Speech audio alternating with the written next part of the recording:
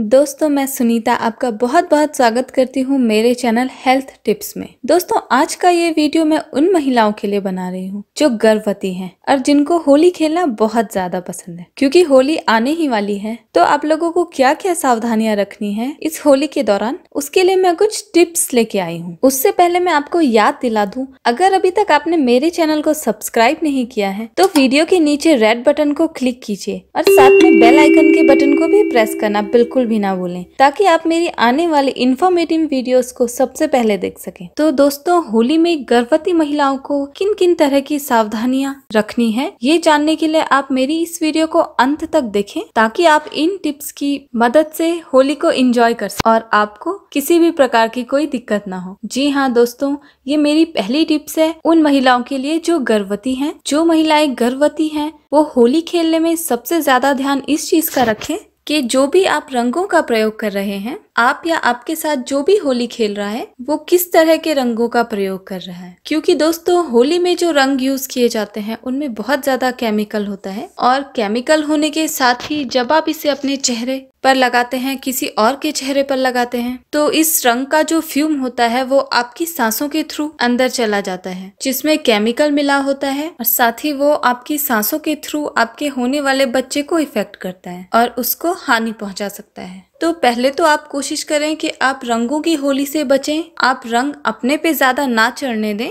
या फिर कोई अगर आप पे रंग लगा रहा है तो आप टीका ही लगवाएँ। और जहाँ पर भी रंग उड़ता हुआ नज़र आ रहा है, आप वहाँ पर से तुरंत हट जाएँ। क्योंकि इन रंगों में जो केमिकल होता है, वो आपके साथ साथ आपके बच्चे को भी बहुत हानि पहुँचा सकता है। तो कोशिश करें कि आप इन रंगों से बचें, जिनमें की अत्यधिक मात्रा में केमिकल होता है। और मेरी ये सलाह है कि अगर आपको रंग यूज़ करने हैं तो आप हर्बल कलर्स यूज़ कीजिए, या फिर उन नेचुरल कलर्स को यूज़ कर सकते हैं, जो आप घर में बना सकते हैं। तो ये तो थी रंगों की बात। तो दोस्तों, दूसरी टिप्स मेरी है खान पान को लेकर। दोस्तों, होली के टाइम पे बहुत ही ऑयली फ़ूड हो जाता है खाने के लिए, जैसे चिप्स हो गए, गुजिया हो गई पूरी पकौड़ी हो गई। इस टाइप के ऑयली फूड्स उस टाइम पे खाने के लिए बहुत मिलते हैं। तो आप सावधानी रखें कि इस टाइप के फूड्स आप कम इनटेक करें।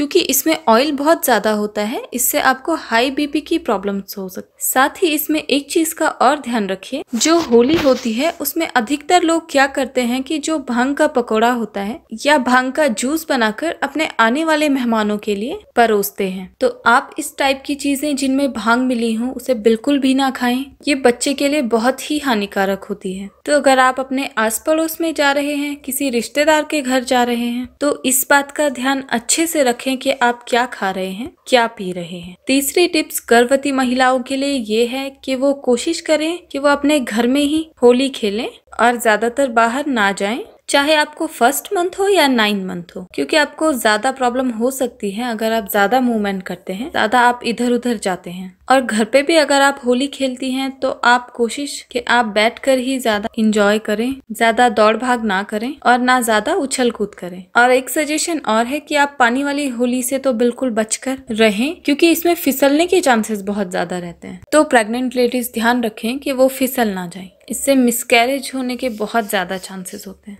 आप किसी भी मंथ हैं तो आपको इस टाइप के किसी भी टाइप का रिस्क नहीं लेना है। चौथी टिप्स दोस्तों मेरी ये है कि अगर आप होली खेलना चाहते हैं तो अपनी बॉडी पे, स्किन पे पहले अच्छे से तेल की मालिश कर लें और उसके बाद ही आप होली खेलें क्योंकि क्या होता है कभी कभी जो रंग होते हैं वो निकलते नहीं आसानी से और कभी कभी इससे इतनी एलर्जी हो जाती है स्किन पे कि आपको मेडिसिन लेनी पड़ जाती है। और जैसा कि आप जानते हैं कि प्रेगनेंसी के दौरान बाहर की मेडिसिन आप नहीं ले सकते हैं तो कोशिश कीजिए आपको इस तरीके की कोई भी एलर्जी ना हो, इसलिए आपको पहले से ही प्रिकॉशंस लेनी चाहिए। तो होली खेलने से पहले अपने सर से लेकर पैर तक अच्छे से मालिश कर लीजिए और उसके बाद अच्छे से होली खेलिए। तो दोस्तों, ये थी कुछ टिप्स गर्भवती महिलाओं के लिए। जो गर्भवती होती हैं और वो होली खेलना चाहती हैं तो अपने खान पान को लेकर, रंगों को लेकर मूवमेंट को लेकर, सावधानियाँ बरत कर आप होली को एंजॉय कीजिए तो ज़्यादा बेहतर होगा। तो फ्रेंड्स ये थी मेरी कुछ टिप्स और साथ ही याद दिला दू, मेरे चैनल को सब्सक्राइब लाइक करिए मेरी वीडियो को शेयर कीजिए। Thanks for watching my video